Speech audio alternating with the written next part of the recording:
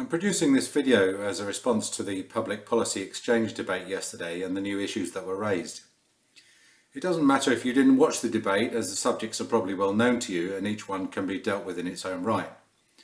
As expected, the audience of about 25, not including the speakers, was a listless bunch, mostly from the public sector who spent the entire morning whinging about lack of dentists and lack of funding. This is a feature of dental groups and most other groups I would imagine. When they get together they just talk about how things aren't what they used to be and expound on what needs to happen and what they would like to see happen without making any decent suggestions about how this could be achieved. This is what sets the achievers apart from the whingers, the ability to actually make change happen. Some suggestions were made. One was the introduction of some sort of seniority pay to enhance the earnings of practitioners as their productivity drops off. I think the person who suggested this was probably old enough to remember that this was tried before. Younger practitioners had their fees top sliced to pay older practitioners and it wasn't voluntary. You paid in expectation of getting the money back, not from a fund, but from the future tax on younger practitioners. When the time came to pay increasingly more of it back, the scheme was scrapped, the cupboard was bare. Younger practitioners had been ripped off, all trust was lost, and there would be no support for a new version of this. Another suggestion was to increase the incentive to go into the NHS by writing off student debt. Now I don't agree with charging students to go to university and lending them money to pay those charges. It just inflates the tuition costs and is a direct subsidy to the universities, not the students. When they graduate, they pay back more than the cost of their education in taxes, so in effect they pay for it twice. It is in society's interest to encourage people to be highly trained because they contribute more both financially and in civic development. Writing off debt is inflationary and any obligation to work on the NHS for say three years post-graduation wouldn't work. This is because graduate dentists already spend some time working within the NHS before going private, so you'd be paying them to do something that they do already. Also, as a general principle, I don't think this should apply to dentists since all graduates are trained at the state's expense. Why don't architects spend three years working for public bodies or accountants or vets? The whole idea is silly. Much better to abolish student fees and loans and pay a flat rate subsidy and force universities to attract graduates in the free market based on performance. Another suggestion was to give dentists the skills to extract wisdom teeth free of charge so that more work could be done in primary care. But the reason that dentists don't extract wisdom teeth is not because they don't have the skills, they just don't have the support. Viewers of this channel may remember that my first complaint was from a woman who said that she had experienced pain and discomfort following a wisdom tooth extraction. The dentist on the panel said the tooth had been covered with bone. I knew he was looking at the external oblique ridge, which appears on an x-ray as if it covers the third molar, but I didn't feel confident enough to argue with him. The panel found in the patient's favour because their expert dentist said I was lying about whether or not the tooth was covered in bone. At that point I vowed never to extract another third molar and for 40 years I never did. They all went into secondary care, now called level 2, at great public expense. Recently a patient of ours was awarded £8,000 because we failed to diagnose a filling for six months. The law states that if you make a mistake, it's negligence. There's nothing short of negligence in law, therefore all dentistry is now defensive. You don't do anything or accept any patient that may present a management problem. This is, this is different if you are a salaried consultant in a hospital. There the presumption is that you are a wise head and if something goes wrong it's because you get all the difficult cases. In general practice, the presumption is that you attempted to do something that was beyond your skills, probably because you were greedy for money and got into trouble and deserved to have the book thrown at you and to get you back in line. This attitude is prevalent at the General Dental Council and also within the training hospitals, where student dentists and hygienists are warned that once they get into general practice, they will inevitably come under heavy pressure to do things in a way that produces maximum profit rather than maximum health and to resist all and any advice from experienced practitioners unless they want to get struck off. You could offer me a four-week all-expenses course in the Maldives on extracting wisdom teeth and I would attend, but once I came back to Blighty, I wouldn't take any out. It was suggested that dentists should use fee for item to fix patients' teeth before they are accepted on capitation.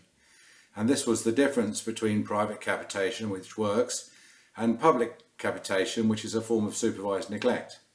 But that is not the difference. You can be accepted onto a private capitation plan without having any of your outstanding work carried out. It's just that that treatment will not be done on the plan. The difference is that on private capitation schemes the fee is set by the dentist and the patient and by definition is always adequate, whereas with public capitation plans the fee is set by the state and is always inadequate. Giving the dentist the ability to charge an inadequate fee to remediate dental disease and barring patients from a state plan with inadequate capitation fees until they have had that treatment will not work.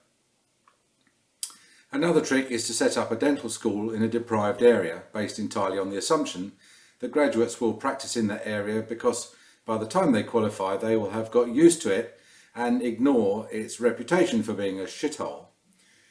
This is an extension of the policy of recruiting abroad by telling non-UK dentists that they are being sent to a paradise with warm sandy beaches while clutching a ticket to Jaywick or Blackpool.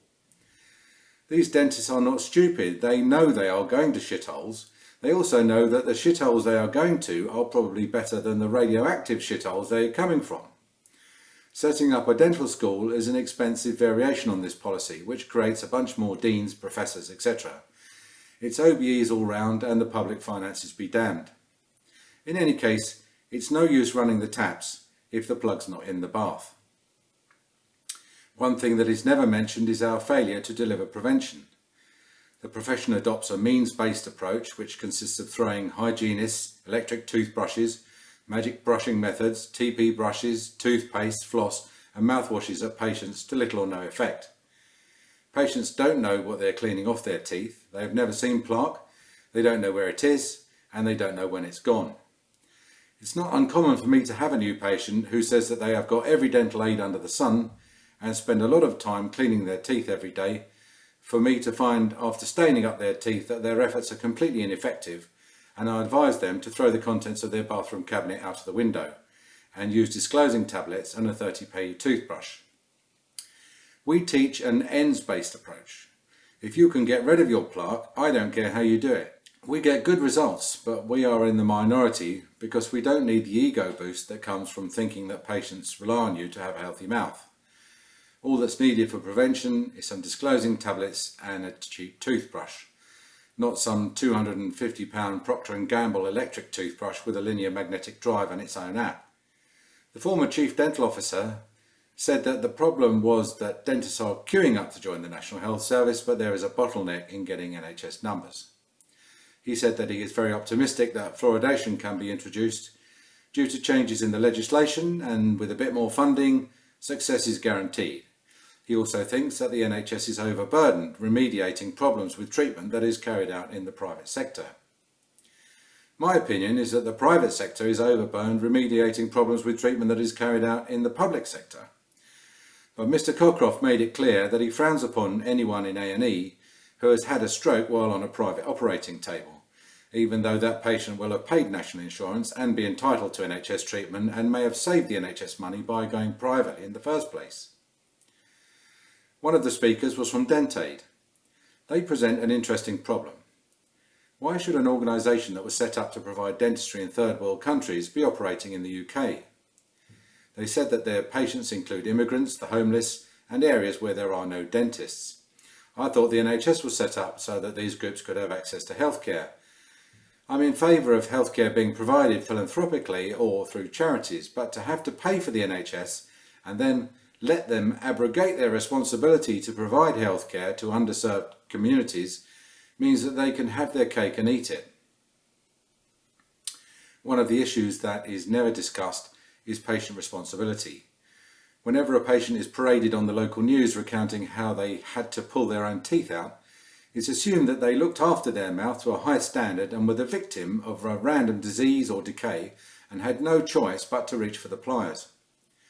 In practice, these people have advanced gum disease caused by years of neglect. They are irregular attenders at best who budget day to day and then one day they're standing in front of the local news cameras saying that they pulled their own teeth out. As a dentist, I can tell you it's not that easy to pull teeth out unless they are swinging around like the clapper on a bell. But there have always been people who pulled their own teeth out even when NHS dentistry was readily available. People have pulled their own teeth out since people have had teeth. The nurses, of course, were saying that they were underpaid and their skills are unappreciated.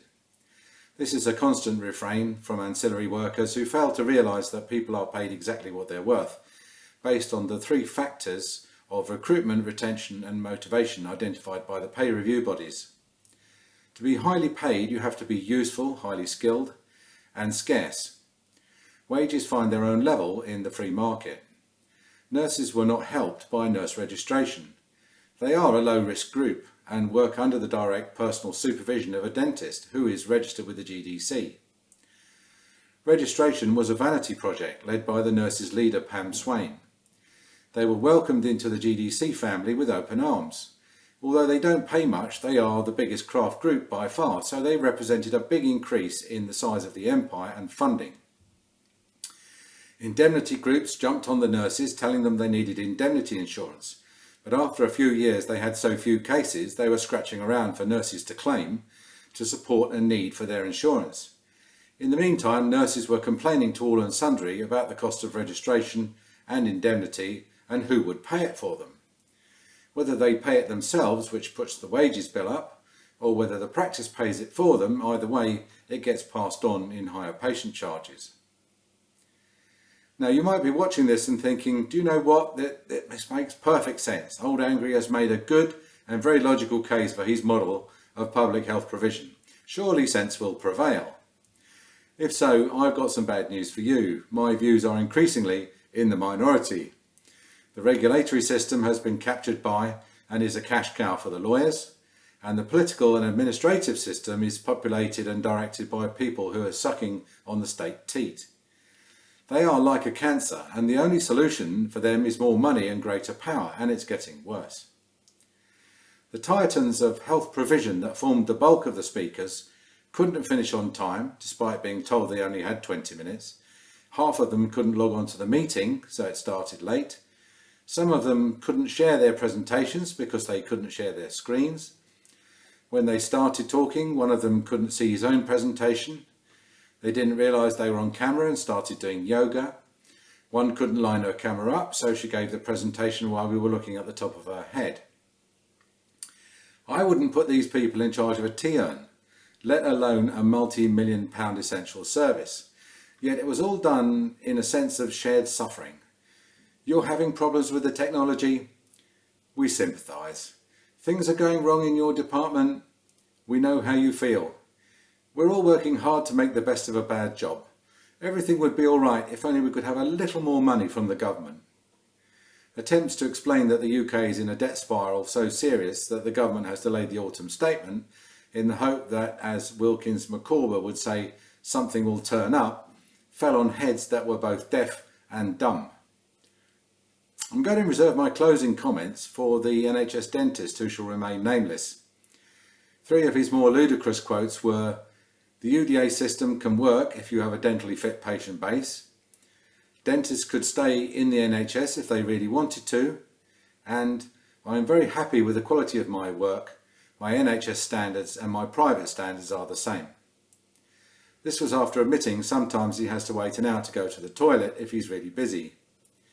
Here, in full flow, was the arrogance of youth. Here was a legend in his own bathtub, someone who has the energy and is prepared to sacrifice his quality of life to work on the NHS. With the arrogance to think that he's found the solution that most other dentists have missed, that he is a success in a sea of failure. When he grows up a bit, he will realise that any system works if the patients are already dentally fit. And dentists who leave don't want to stay on the NHS because perhaps their standards are higher than his. Everybody is happy with their own standards, however appalling they are. And if your private treatment is the same as your NHS treatment, then I feel sorry for your private patients. I made the same challenge to him that I make to all so-called successful NHS dentists. I will visit him at my own expense and if he is providing a high quality comprehensive NHS service to all, I will go public and admit that my last 40 years have been wasted and everyone should go back on the NHS, which he accepted.